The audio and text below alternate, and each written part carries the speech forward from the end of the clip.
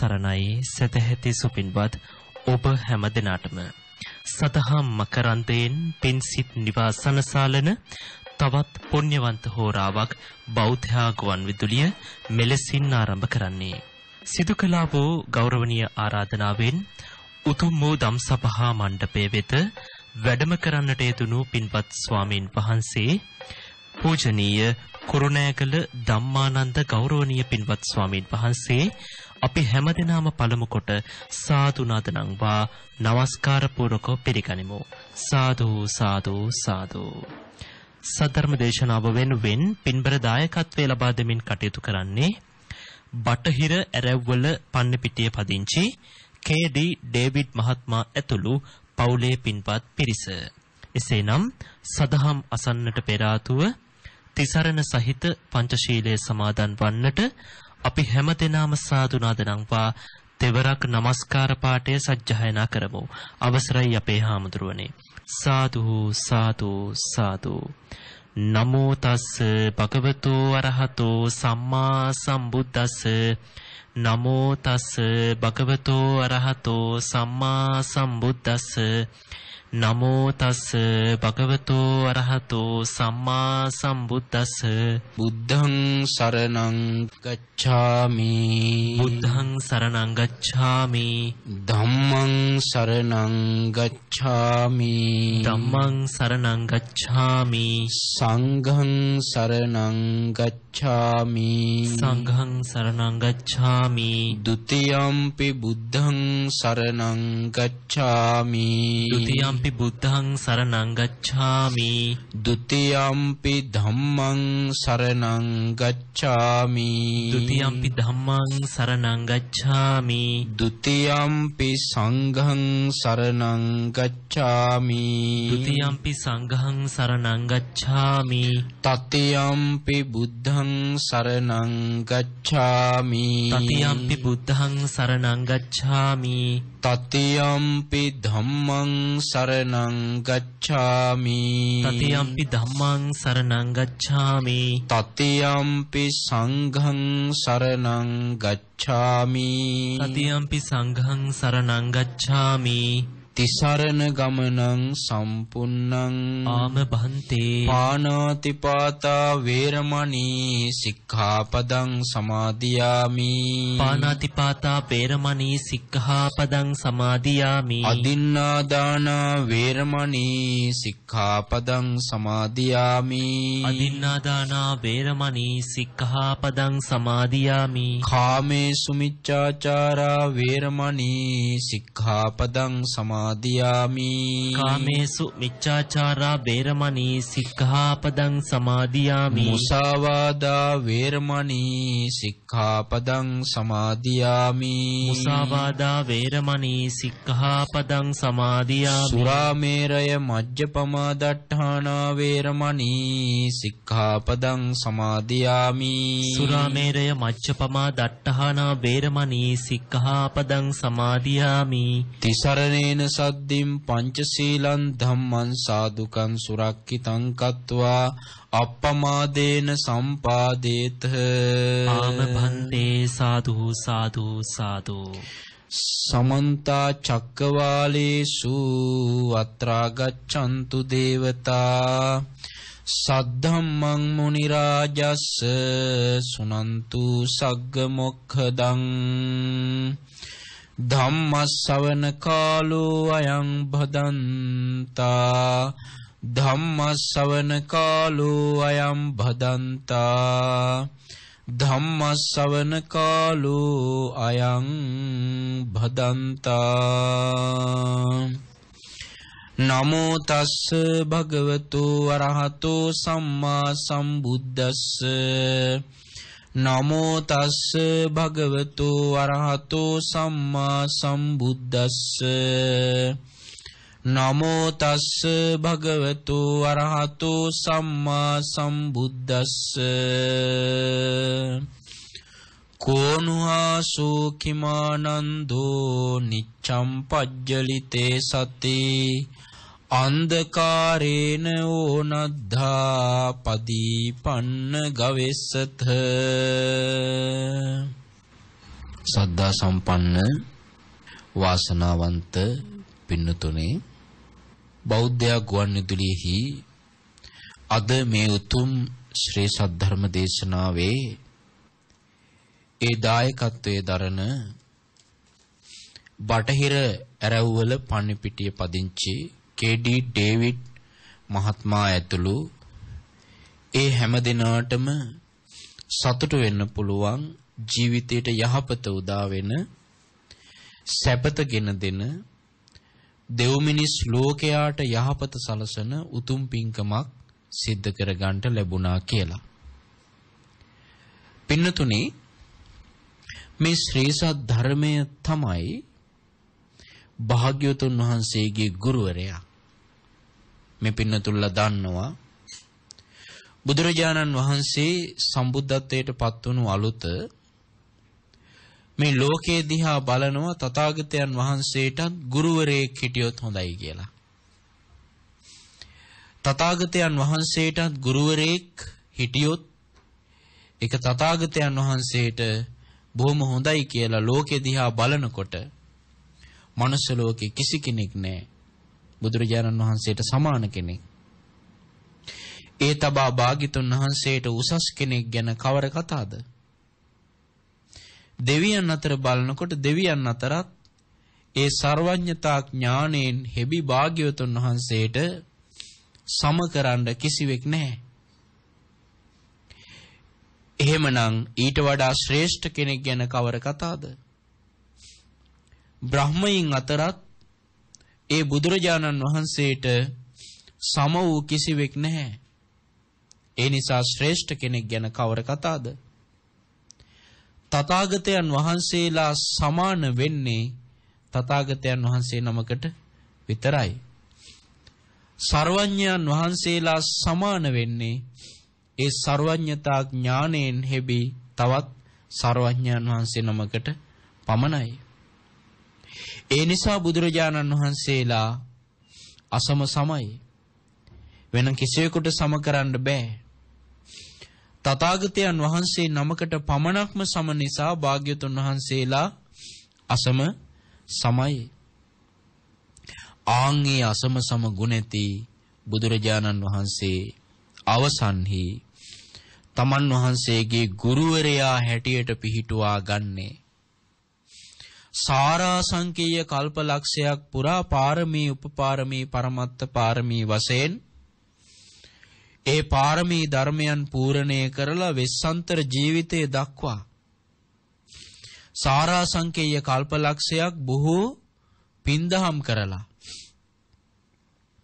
ඒ උතුම් බුද්ධ රාජ්‍යයට පැමිණ වදාළ මොහොතේ අවබෝධ කොට වදාළ යම් ශ්‍රේෂ්ඨ අර්ථ සහිත පැහැදිලි නිවන් මාර්ගය ගැන කතා කරන යම් ධර්මයක් ඇද්ද?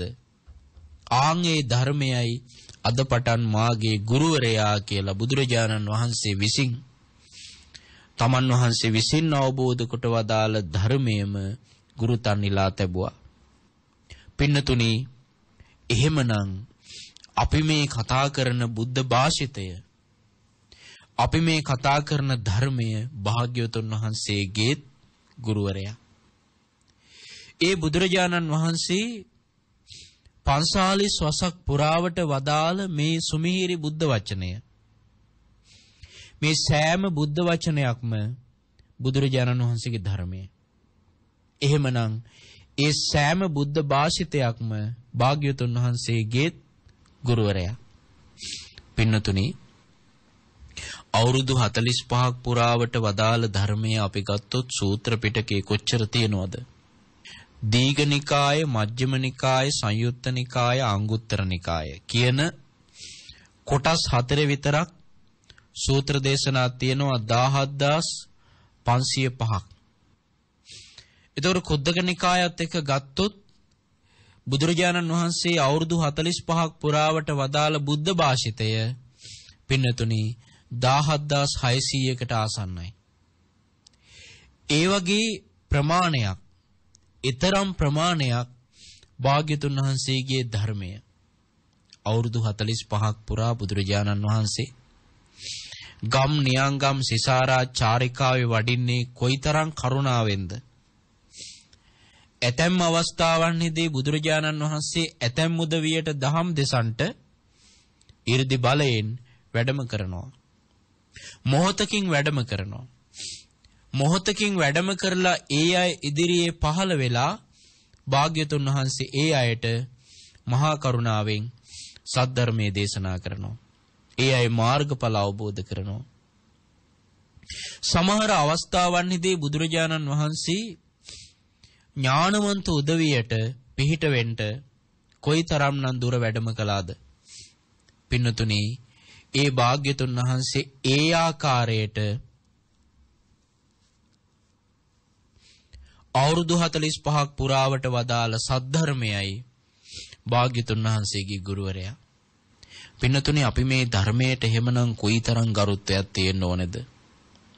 අපි මේ බුදුරජාණන් වහන්සේගේ ධර්මයට ගරුත්වය තියාගත්තේ නැත්නම් අපි කොයිතරම් බණ ඇහුවත් අපිට මේ ධර්මයේ අවබෝධ කරන තරමට ධර්මයේ අපිට පිහිටන්නේ නැහැ. දැන් බලන්න අද ගෙවල් වල කෙනෙක් මිය ගියාට පස්සේ හත් දවසෙන් තුන් මාසෙන් ස්වාමින්වහන්සේලා වඩම්මලා දේශනාවන් පවත්වනවා. එහෙම ධර්මදේශනාවල් කරවෙනකොට අපි දකින දෙයක් තමයි ධර්මදේශනාව අවසානයේදී එන පිරිස ධර්ම ශ්‍රවණයේ මගහැරලා ධර්මයේ අහන්න එන පිරිස කොච්චරද සමහර විට තමන්ගේ පවුලේ ඉන්න පුතා දුව එක්කරගෙන දෙමව්පියන් එන්නේ දේශකයන් වහන්සේ දේශනාව අවසන් කරලා ආපහු වැඩම කළාට පස්සේ බලන්න පින්වතුනි බුදුරජාණන් වහන්සේගේ ධර්මයට ගරුත්වයක් ගෑවිලාවක් තියනවද කියලා.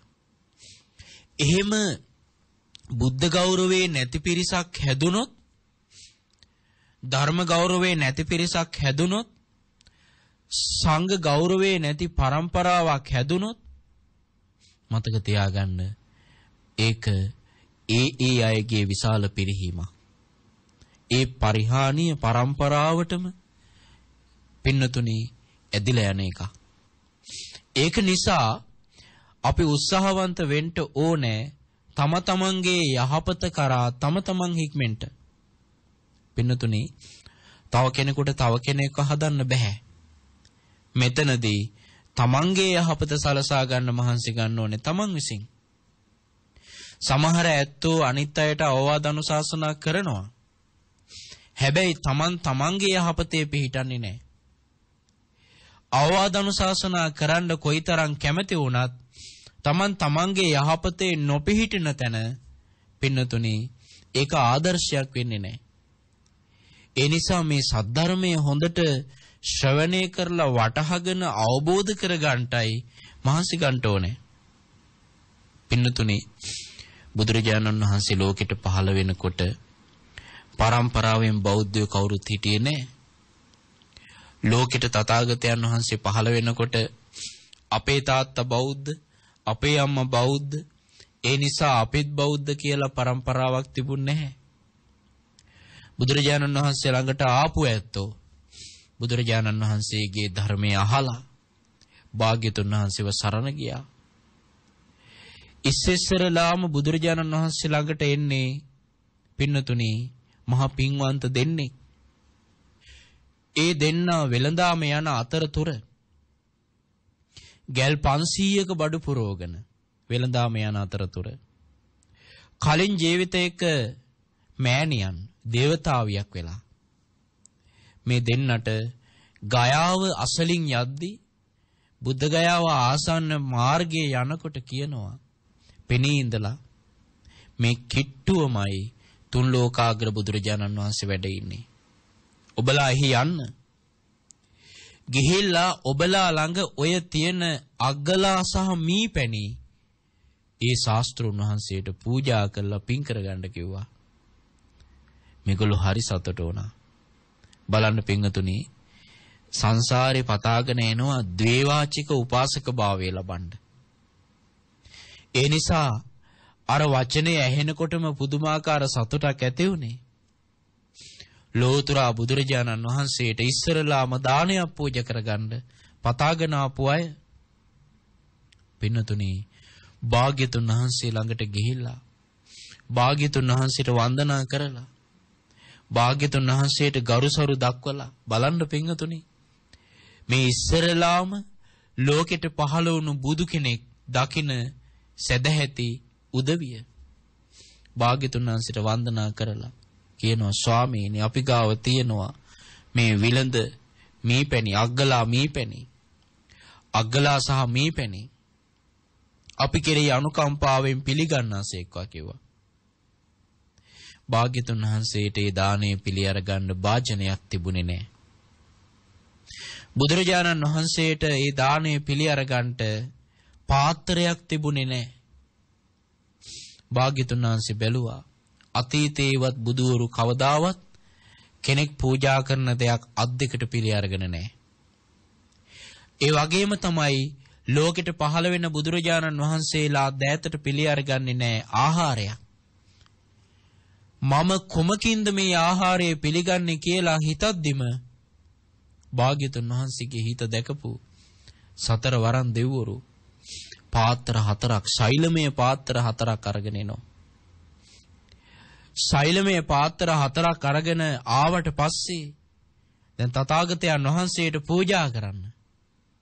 බුදුරජාණන් වහන්සේ ඒ පාත්‍ර හතරම එකක් වනසේ අදිෂ්ඨාන කරගෙන ඒ ලැබුණු පාත්‍රයට අර අග්ගලා සහ මීපැණි පූජාව පිළි අරගන්නවා. බලන්න පිංගතුනි බොහොම සද්ධාවෙන් ඒ දාණය පූජා කරන්නේ. ඒ දාණය පිළි අරගත්තට පස්සේ භාග්‍යතුන් වහන්සේ දාණය වළඳා අවසන් වුණාට පස්සේ දැන් මේ දෙන්නට හරි සතුටුයි. මේ දෙන්නම බුදුරජාණන් වහන්සේගේ ශාසනය තුල ඉස්සරලාම භාග්‍යතුන් වහන්සේවත් සද්ධර්මයත් සරණ ගිය ශ්‍රාවකයෝ බවට පත් වෙනවා. ඔන්න ඉස්සරලාම බුදුරජාණන් වහන්සේව සරණ ගිය සද්ධර්මයේ සරණ ගිය උපාසක මහත්තුරු දෙන්න. හැබැයි තෙරුවන් සරණ ගිය උපාසක මහත්තුරු නෙවෙයි. දේවාචිකා උපාසකා කියනවා. භාග්‍යතුන් වහන්සේවත් සද්ධර්මයත් සරණ ගිය උපාසක මහත්තුරු. දැන් මේ කතාවල් අහලා තියෙනවා මේ පින්නතුල්ලා.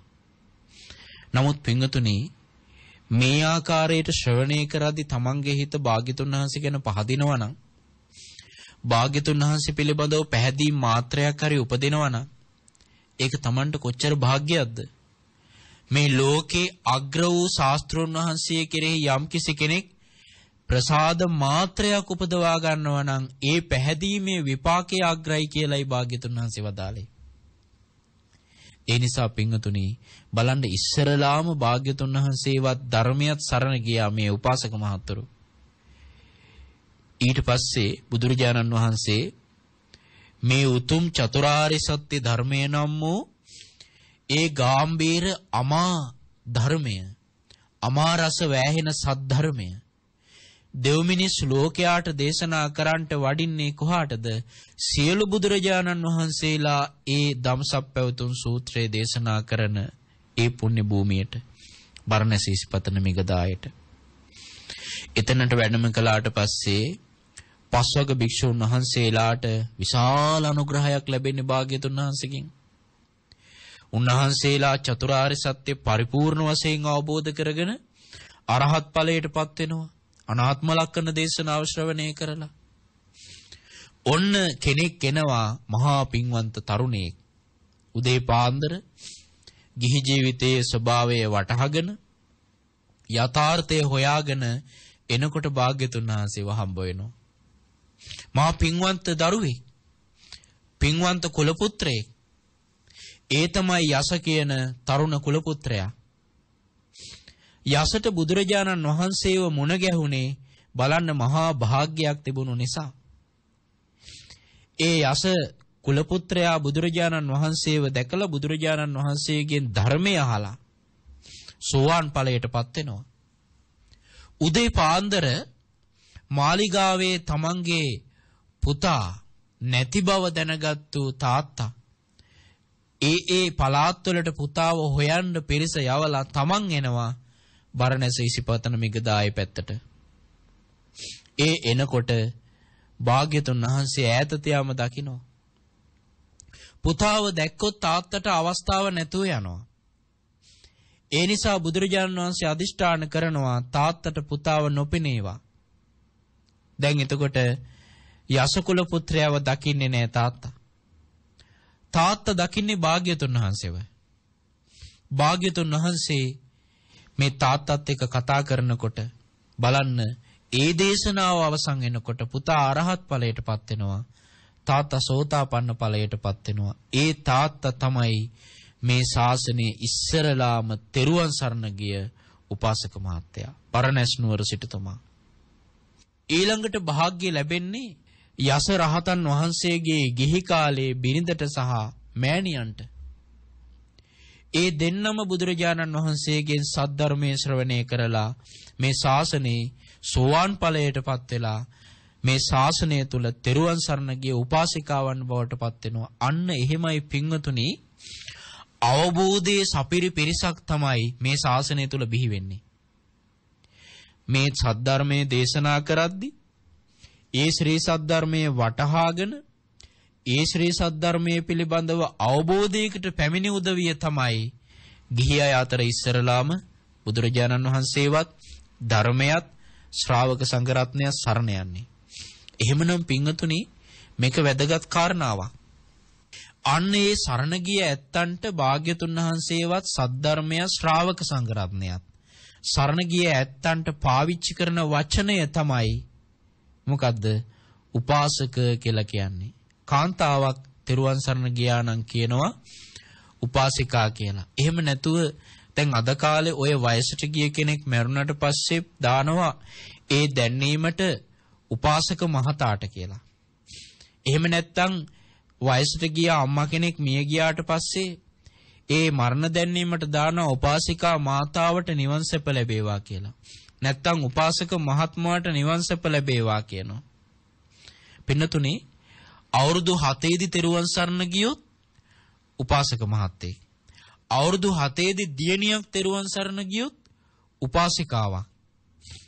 තරුණ වයසේදී දරුවෙක් තෙරුවන් සරණ ගියොත් උපාසක මහත්තයෙක්. තරුණ වයසේදී දියණියක් තෙරුවන් සරණ ගියොත් උපාසිකාවක්.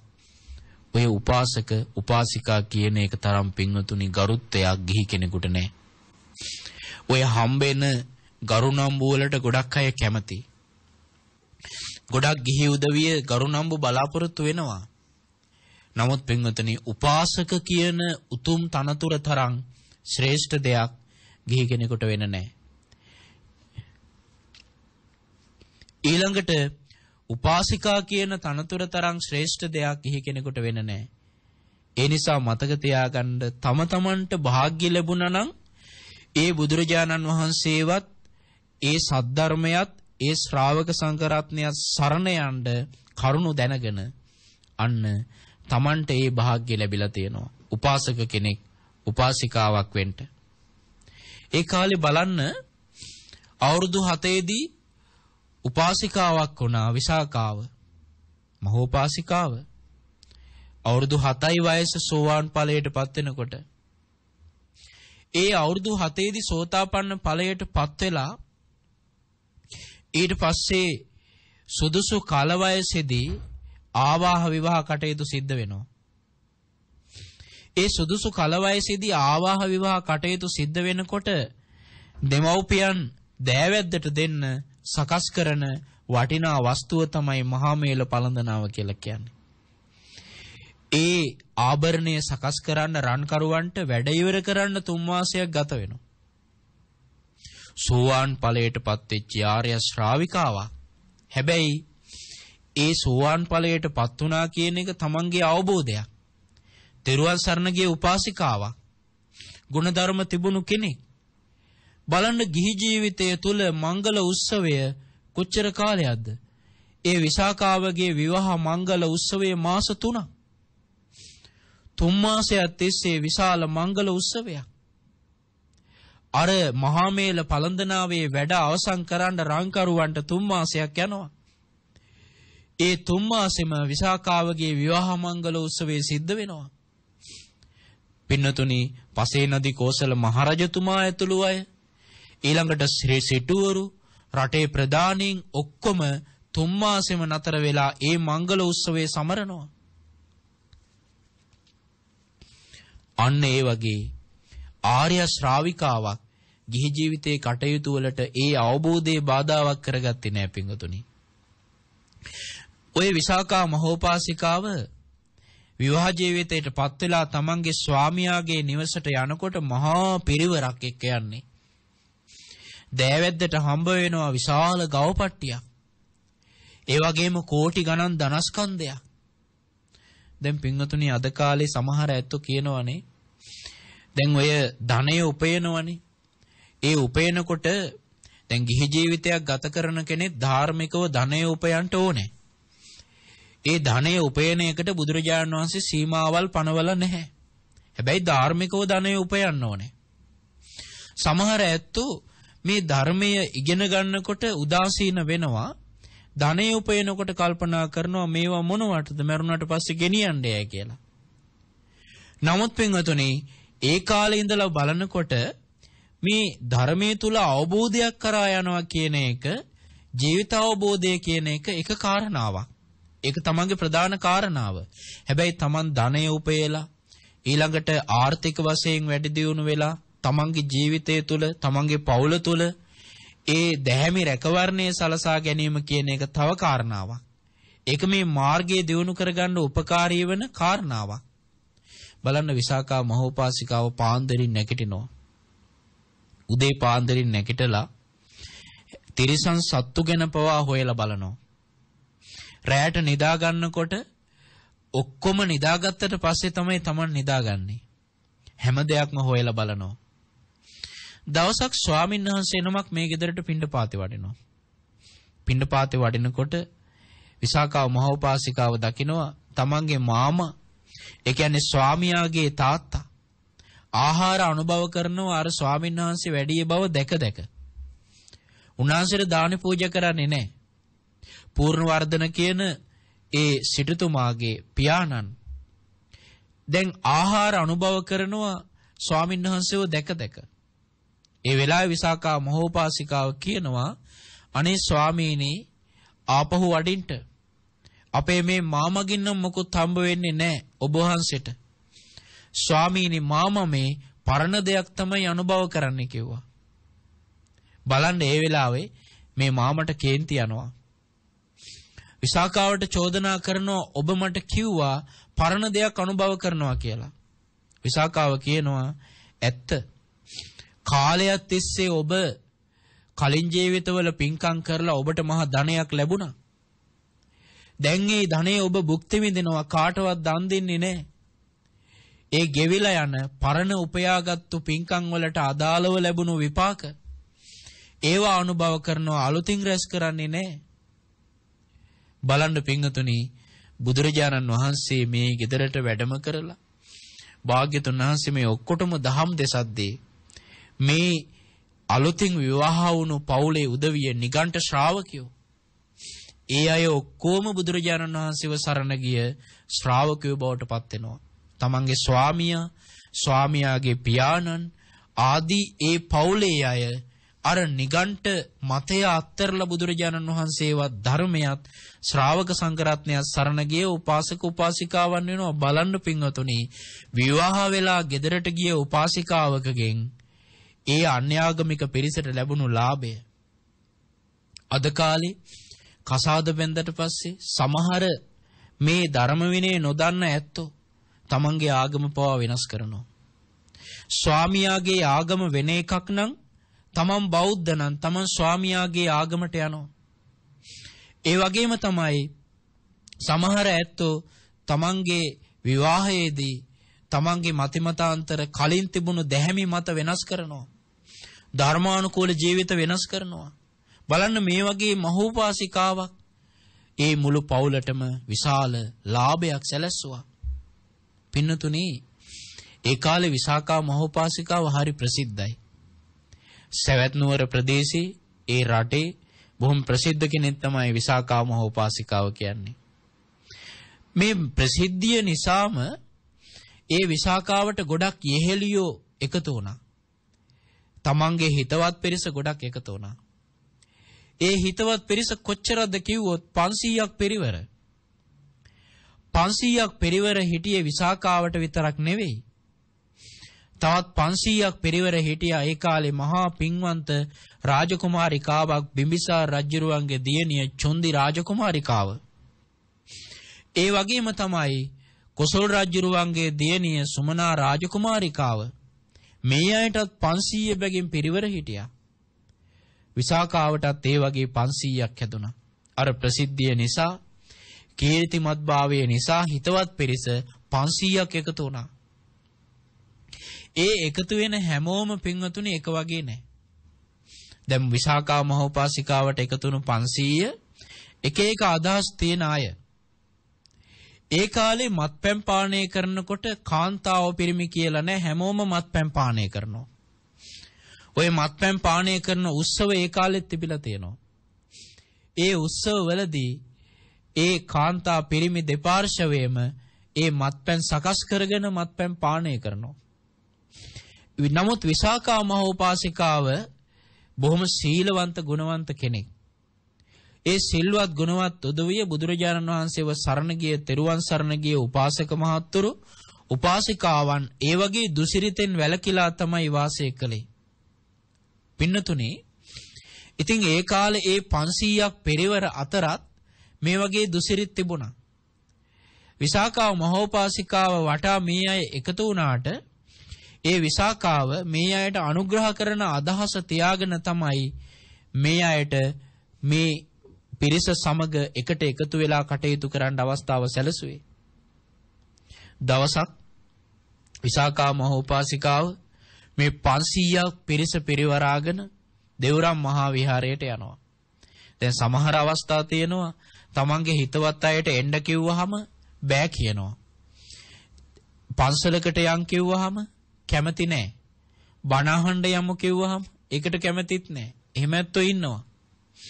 නමුත් මෙතනදී මේ විසාකා මහෝපාසිකාව මේ 500ක් හිතවතුන්ට කියනවා සවැත් නුවර දෙවුරම් මහා විහාරේ බොහොම ලස්සනයි. අපි දෙවුරම් මහා විහාරේ වඳින්න බුදුරජාණන් වහන්සේව වන්දනා කරන්නට යමු කිව්වා. වචනේ අහක දහන්න බැරි නිසා අමනාප වෙන නිසා මේ 500 විසාකාවගේ වචනෙට අවනත වෙලා ජේතවනාරාමයට යනවා. පින්නතුනි විසාකා මහෝපාසිකාව දෙවුරම් මහා විහාරයට ගියාට පස්සේ ස්වාමින් වහන්සේලාගේ අවශ්‍යතා සොයා බලනවා. භාග්‍යතුන් වහන්සේට වන්දනා කරනවා. සංඝෝපස්ථාන කටයුතු සිද්ධ කරනවා. ඒ විහාරයේ වැඩ වාසය කරන ගිලන් භික්ෂූන්ගේ කටයුතු සොයා බලනවා. ඒ අතර මේ 500ක් පිරිස අර ජේතවනාරාමයේ තුල ඒ ආරාමයේ තුල ඒ ලස්සන රුක්සෙවන් වල වාසය කරනකොට මේගොල්ලන්ට අර තමන් ආරාමයක ඉන්නවා කියන අදහස නැතුව ගියා.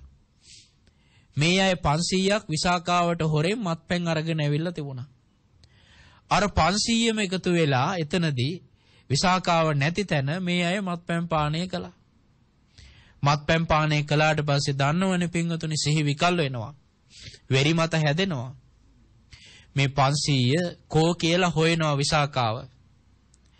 එතකොට ආරාමේ ඉන්න බව දැකලා දැන් බුදුරජාණන් වහන්සේ ධම්සභා මණ්ඩපයේට සද්ධර්මයේ දේශනා කරන්නට වඩින මොහොත විසාකාව මේ 500ම භාග්‍යතුන් වහන්සේගෙන් සද්ධර්මයේ ශ්‍රවණය කරන්නට එක් කරගෙන යනවා. විසාකාව දන්නවා දැන් මේ අයට මොකද වෙලා තියෙන්නේ කියලා. විසාකාව දන්නවා බුදුරජාණන් වහන්සේගේ මහා කරුණාව ගැන. පින්නතුනි භාග්‍යතුන් වහන්සේ ධම්සභා මණ්ඩපේ මණ්ඩපේට වඩිනකොට මේ සිහිවිකල් වෙලා හිටපු කාන්තාවකින් එක්කෙනෙක් අප අත්පොලසන් නාදයක් පවත්වන්න ගත්ත අත්පොඩි ගැහුවා. තව එක්කෙනෙක් සින්දුවක් කියන්න ලේස්ති වුණා. තව එක්කෙනෙක් නටන්න ලේස්ති වුණා. බලන්න පිංගතුනි මේ භාග්‍යතුන් වහන්සේ මේ අයගේ මේ විකාරය දැක්කා. ඒ වෙලාවේ බුදුරජාණන් වහන්සේ දකිනවා මෙහෙම කළාට මේ 500ම මාර්ගඵල අවබෝධ කරන්න පින තියන අය. 500ම සෝවාන් වෙන්න පින තියන අය. බුදුරජාණන් වහන්සේට පුළුවන් කෙනෙකුට අවබෝධය කරා යන්ට උපකාර කරන්න. සමහර අවස්ථාවන් වලදී භාග්‍යතුන් වහන්සේ 이르දි ප්‍රාතිහාරේ පාලා උපකාර කරනවා කෙනෙකුට අවබෝධය කරා යන්න. සමහර අවස්ථාවල බුදුරජාණන් වහන්සේ මේ සද්ධර්මය ඒ කෙනාට අවබෝධ වන ආකාරයටම දේශනා කරනවා. මෙතනදී බුදුරජාණන් වහන්සේ 이르දි ප්‍රාතිහාරයක් පානවා. භාග්‍යතුන් වහන්සේ ඝන කට්ට කලුවරක් මවනවා. ඒ කළුවර මේ සාමාන්‍ය රාත්‍රිය වගේ නෙවෙයි. ඒ 이르දි බලයෙන් මවන කළුවර ඝන කට්ට කරුවලක්. ඒ අඳුරට එතන ඉන්න ඒ 500ම බිය වෙනවා. ඒ බියට අර වෙරි මත හිඳිලා යනවා. පින්නතුනි, ඒ අතරින් භාග්‍යතුන් වහන්සේ ආලෝකයේ පතුරවනවා. ඒ ආලෝකයේ අතරින් භාග්‍යතුන් වහන්සේ දේශනා කරනවා ලස්සන ගාතාවක්. කෝනුහාසෝ කිමානන්දෝ නිච්ඡම් පජ්ජලිතේ සති. අන්ධකාරේන ඕනද්දා පදීපන්න ගවෙස්සත. කෝනුහාසෝ කිමානන්දෝ කවර සිනාවක්ද කවර සතුටක්ද නිච්ඡම් පජ්ජලිතේ සති නිරන්තරයෙන්ම මේ හිත කෙලස් ගිනි දැල් වලින් දැවෙද්දී. අන්ධකාරේන ඕනද්දා පදීපන්න ගවෙස්සත. මේ අවිද්‍යාව නම් වූ අන්ධකාරයේ මැද ජීවත් වෙන ඔබලා ප්‍රඥාව නම් වූ ආලෝකයේ පහන නොසොයන්නේ මන්ද? බලන්න පිංගතුනි කොයිතරම් ලස්සනයිද? දැන් සිහිය උපන්න අර වෙරිමත හිඳලා සිහිය උපන්න මේ පිරිසට මේ ගාතාව ඇහෙනවා. භාග්‍යතුන් වහන්සේව දකිනවා බුද්ධාසනයේ වැඩ ඉන්න බුදුරජාණන් වහන්සේව හරීම ලස්සනට ආලෝකමත්ව ඒ බැබලෙන භාග්‍යතුන් වහන්සේව. පින්නතුනි ඒ බුදුරජාණන් වහන්සේගේ සිරිමුව මඩලින් මේ ගාතාව ඇහෙනවා. කවර සිනාවක්ද කවර සතුටක්ද? නිච්ඡම් පජ්ජලිතේ සති නිරන්තරයෙන්ම මේ හිත කෙලෙස් ගිනි දැල් වලින් දැවෙන කල්ලි අන්ධකාරේන ඕනද්දා පදීපන්න ගවෙස්සත. මේ අවිද්‍යාව නම් වූ ඝන අඳුර මැද සිටින නුඹලා ප්‍රඥාව නම් වූ එළිය නොසොයන්නේ මන්ද? බලන්න පින්වතුනි මේ ගාතාව හරි අර්ථමත්. මේ සංසාරේ අපි මෙච්චර කාලයක් ආවේ කරුණු හතරක් අවබෝධ කරපු නැති හින්දානේ පින්වතුනි. මේ සංසාරේ අපි මෙච්චර කාලයක් ආවේ කාරණා හතරක් අවබෝධ නොකළ නිසා ඒ කාරණා හතර කුමක්ද ඒ තමයි චතුරාර්ය සත්‍ය. ඒ දුක අවබෝධ කරපු නැති හින්දා. ඒ දුකට හේතුව අවබෝධ කරපු නැති හින්දා. ඒ දුකින් නිදහස් වීම අවබෝධ කරපු නැති හින්දා. ඒ මාර්ගය අවබෝධ කරපු නැති හින්දා තමයි මේ සංසාරේ මෙච්චර කාලයක් ආවි සැප විඳ විඳ නෙවෙයි. කලාතුරකින් යන්න ඇති දිව්‍ය ලෝකේ. කලාතුරකින් යන්න ඇති බ්‍රහ්ම ලෝකේ. කලාතුරකින් යන්න ඇති මේ මනුස්ස ලෝකෙට එන්න ඇති. හැබැයි අපි අමතක කරන්න හොඳ නෑ බුදුරජාණන් වහන්සේ දේශනා කරපු කාරණාව. මේ සංසාරේ මෙරි මෙරි ඉපදී ඉපදීන සත්වයාගේ මහගෙදර තියෙනවා. පිනතුනි මහගෙදර ඉඳලා ගමනක් ගියොත් නැත්තම් Taman ජීවත් වෙන නිවසේ ඉඳලා ගමනක් ගියොත් ඒ ගිය තැන නතර වෙන්න නෙවෙයි හිතන්නේ. ආය ආපහු හිටපු ගෙදරටම එන්නයි හිතන්නේ. භාග්‍යතුන් වහන්සේ දේශනා කරනවා මේ සංසාරේ අනාදිමත් කාලයක් තිස්සේ මෙරි මෙරි ඉපදී ඉපදෙන සත්වයාගේ මහගෙදර සතර අපාය. එහෙමනම් අන්නේ සතර අපායේ බොහෝ කාලයක් දුක් විඳ විඳ. ඒ වගේම දෙව් මිනිස් දෙගතියේ සැප විඳ විඳ ආවනම් මේ ගමන පින්වතුනි ඒ ආපු ගමන ගැන බුදුරජාණන් වහන්සේ දේශනා කරනවා මව්පියන් මලකල්ලි හැඬු කඳුළු සතර මහා සාගරයේ ජලයට වඩා වැඩි. ඊළඟට සහෝදර සහෝදරියන් මියගිය කල්හි හැඬු කඳුළු සතර මහා සාගරයේ ජලයට වඩා වැඩි. ඊළඟට තමන්ගේ ඥාති මියගිය කල්හි හැඬු කඳුළු සතර මහා සාගරයේ ජලයට වඩා වැඩි. ඌරන් කුකුලන් හරකුන් වෙච්චි අවස්ථාවල බෙල්ල කැපූ කල්ලි ගලාගෙන ගිය ලේ සතර මහා සාගරයේ ජලයට වඩා වැඩි ඒකෙන් කියවෙන්නේ මොකද්ද? පින්නතුනි මේ සංසාරේ සැප විඳලා නෙවෙයි. ඒකෙන් කියවෙන්නේ මේ සංසාරේ අපි කෙලවරක් නැති දුක් විඳලා. ඒ නිසා බුදුරජාණන් වහන්සේ දේශනා කරනවා මේ අවිද්‍යාව නම් වූ ඝන අඳුරේ සිටින නුඹලා ප්‍රඥාව නම් වූ ආලෝකයේ නොසොයන්නේ මන්ද? මතක තියාගන්න පිංගතුනි යම් දවසකද ඔය අවිද්‍යාව ඉතුරු නැතුව නොයල්මෙන් නිරුද්ධ වෙන්නේ? අවිද්‍යාව ඉතුරු නැතුවම ප්‍රහාණය කරන්නේ? ආන් එකල්ලේ තමයි අපි ආරි සත්‍ය හතර පරිපූර්ණ වශයෙන් අවබෝධ කරන්නේ.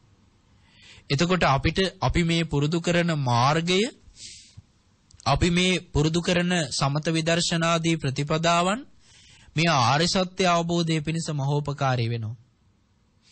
දැන් මේ ගාථාව තුළ බුදුරජාණන් වහන්සේ පෙන්නනවා කවර සිනාවක්ද කවර සතුටක්ද? කවර සිනාවක්ද කවර සතුටක්ද කියන්නේ මේ කාමයන්ට ඇලී ගැලී වාසය කරන ඇත්තෝ. ඒ කාමයන්ගෙන්ම තෘප්තිය ලබන්න මහන්සි ගන්නවා. බලන්න ලස්සන උපමාවකින් භාග්‍යතුන් වහන්සේ දේශනා කරනවනේ ගිජුලිහිණියෙක් මස් වැදැල්ලක් අරගෙන පියාඹනවා. ඒ ගිජුලිහිණියා වට කරගෙන කපුටෝ කොටනවා. ඒ ගිජුලිහිණියා යම් පළාතකටද යන්නේ කපුටෝ ඒ පළාතට ගිජුලිහිණියා පසුපස හඹාගෙන යනවා. ඒ මස් වැදැල්ල තියෙන කම්පින්වතුනි.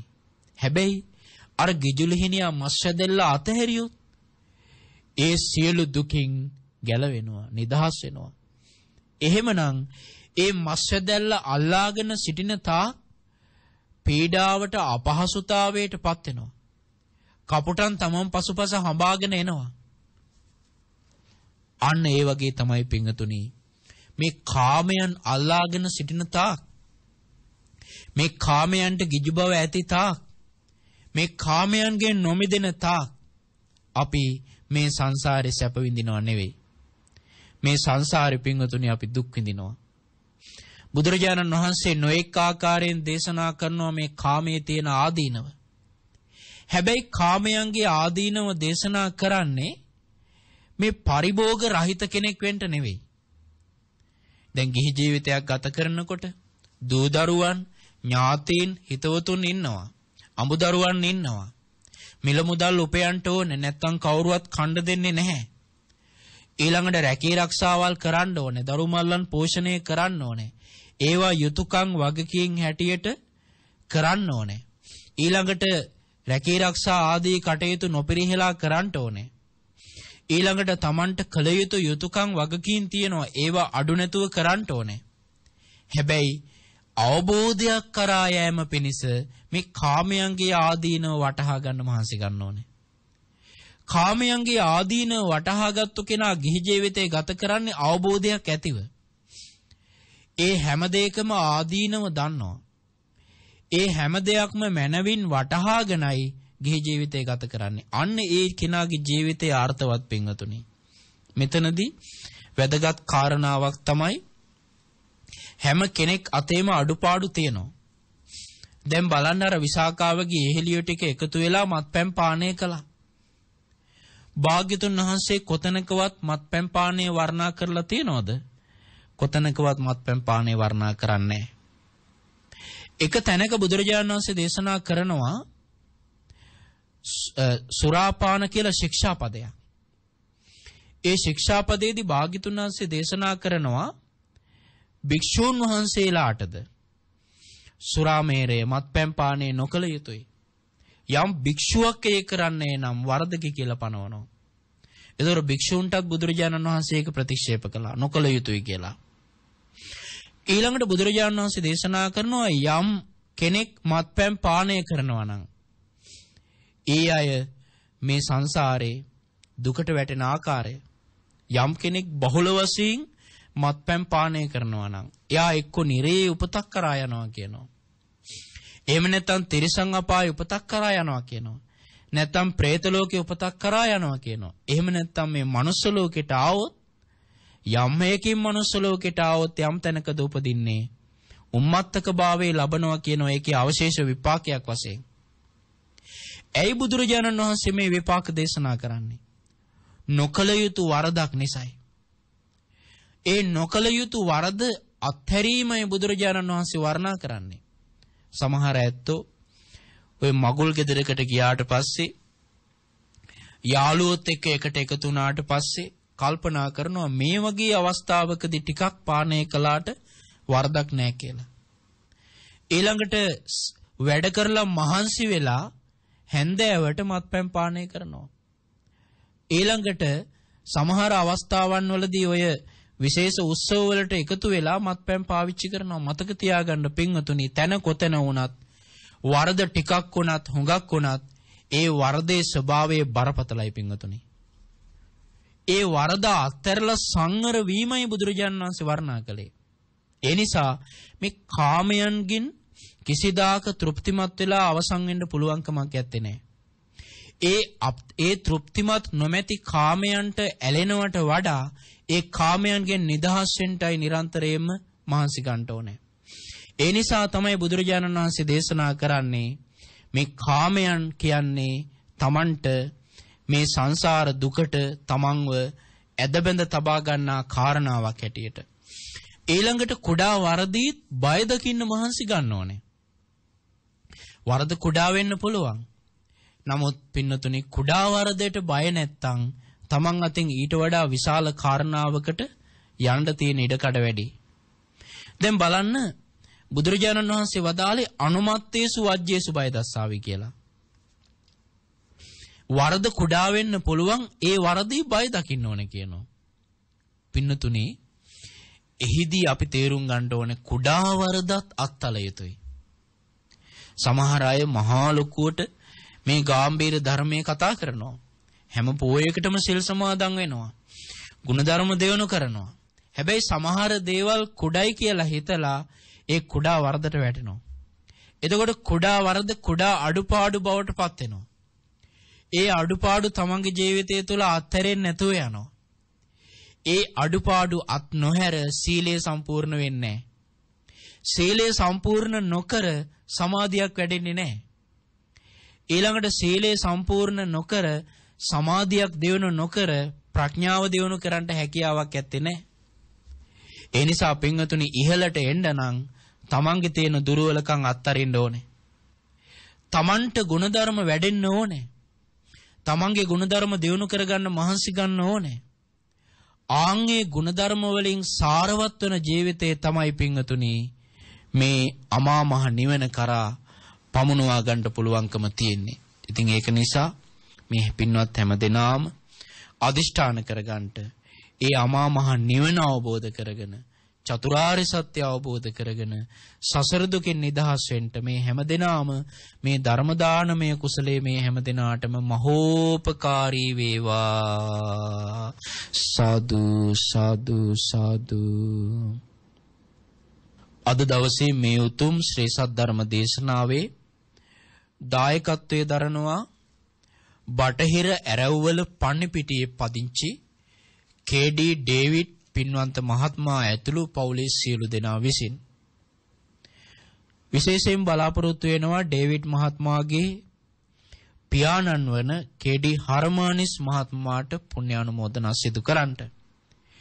ඒ වගේම මෑණියන් වන ඊ ඉසබලානා අල්විස් පින්වන්ත මාතාවට පුණ්‍යානුමෝදනා කරන්න බලාපොරොත්තු වෙනවා. ඒ වගේම ඩේවිඩ් මහත්මයාගේ භාර්යාවගේ පියාණන් වන WD ඇන්ඩිසිඤ්ඤෝ මහත්මයාට පින් අනුමෝදන් කරන්න බලාපොරොත්තු වෙනවා. ඒ වගේම එම භාර්යාවගේ මෑණියන් වන පි මෙසිනෝනා පෙරේරා මාතාවට පුණ්‍යානුමෝදනා කරන්න බලාපොරොත්තු වෙනවා. ඒ වගේම දෙපාර්ශවයේම මියගිය සියලු ඥාති හිත මිත්‍ර ආදීන්ට පුණ්‍යානුමෝදනා කරන්නට බලාපොරොත්තු වෙනවා. ඒ වගේම සෙත් ප්‍රාර්ථනා කිරීම තියෙනවා කේ.ඩී. ඩේවිඩ් මහත්මයාට අවුරුදු 81ක් පිරීම නිමිත්තෙන් නිරෝගී සුවය ප්‍රාර්ථනා කිරීම. ඒ වගේම කේ.ඩී. ශාන්ත ගීතදේව මහත්මයා ඇතුළු පවුලේ සියලු දෙනාට ආශිර්වාද කිරීම. ඒ වගේම කේ.ඩී. අරුණ උදේකුමාර මහත්මයා ඇතුළු පවුලේ සියලු දෙනාටත් කේ.ඩී. මාලා රසාදරී හා සුමුදු නුවන් පුතණුවන්ටත් ඒ වගේම කේ.ඩී. ජිනේෂා කුමාරි සහ දුමින්ද යන දරු දෙදෙනාටත් ආශිර්වාද කරන්නට බලාපොරොත්තු වෙනවා. සුජීවත්ව සිටින පවුලේ සියලු දෙනාට නිදුක් නිරෝගී සුවය ප්‍රාර්ථනා කිරීමත් ඉක්මනින්ම උතුම් චතුරාර්ය සත්‍ය අවබෝධ කරගෙන නිවන සාක්ෂාත් කර ගැනීමත් බලාපොරොත්තුවෙන් තමයි මේ උතුම් පින්කම් සිද්ධ කරන්නේ. දේශකයන් වහන්සේ වන අපටත් උතුම් නිවන අවබෝධ කර ගැනීම ප්‍රාර්ථනා කරමින් මේ ධර්ම දානමය පින්කමේ දායකත්වයේ දරනවා. විශේෂයෙන් මේ නම සඳහන් කළ දෙමව්පියන් ඒ මියගිය ඥාතීන් සියලු දෙනාම මේ පින්පෙත් අනුමෝදන් වෙත්වා මේ පින් අනුමෝදන්ව සැපවත් වෙත්වා සැපයෙන් සැපයටපත් වෙත්වා සංසාර දුකින් මිදෙත්වා සාදු සාදු සාදු ඒ වගේම විශේෂයෙන්ම 81 වෙනි ජන්මදිනය සිහිපත් කරන කේ.ඩී. ඩේවිඩ් පින්වන්ත මහත්මයා විසින් ඒ ජීවිතයට යහපත සලසන උතුම් පින්කමක් සිද්ධ කරගන්නට යෙදුනේ ධර්ම දානමය පින්කම.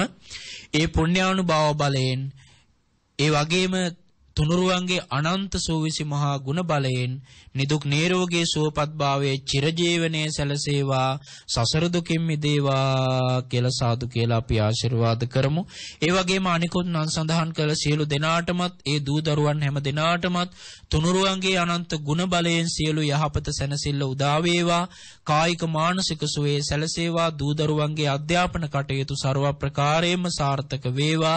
මේ පින්වත් හැම දෙනාටම උතුම් චතුරාර්ය සත්‍ය ධර්මය අවබෝධ කරගෙන සත්පුරුෂ සේවනයේ නොඅඩුව සැලසී සසර දුකින් නිදහස් වීම පිණිසම මේ උතුම් ධර්ම දානමය පුණ්‍ය ධර්මය උපකාර වේවා. සාදු සාදු සාදු.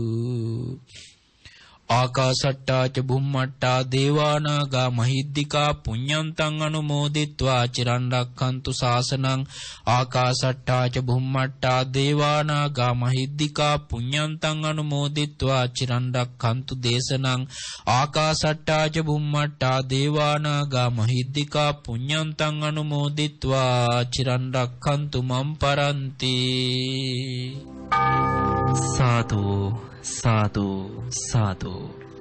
සදහවතුනි ඔබ අප කෙරෙහි අනුකම්පාවෙන් උතුම් වූ සද්ධර්ම දේශනාව පවත්වන්නට යෙදුණු පින්වත් ස්වාමින් වහන්සේ පූජනීය කුරුණෑගල ධම්මානන්ද ගෞරවනීය පින්වත් ස්වාමින් වහන්සේට තවත් চিරාත් කාලයක් මෙවැනි වූ ශාසනික කර්තව්‍යයන් සිදු කරන්නට ශක්තිය ධෛර්යය නිදුක් නිරෝගී චිරජීවනයේම ලැබේවායි. අපි හැමදෙනාම සාදු නාදනම්පා ප්‍රාර්ථනා කරමු. සාදු සාදු සාදු. ඒ උතුම් වූ ප්‍රාර්ථනාව සමගින් බෞද්ධ කුවන් විදුලිය සුපින්වත් ඔබ වෙනුවෙන් sannivedanaya කරන්නට යෙදුණු දායකත්ව සද්ධර්ම දේශනාව මෙලෙස නිමාවට පත්වන්නේ. පින්වත් ඔබ හැම දිනාටම සම්මා සම්බුදු සරණයි.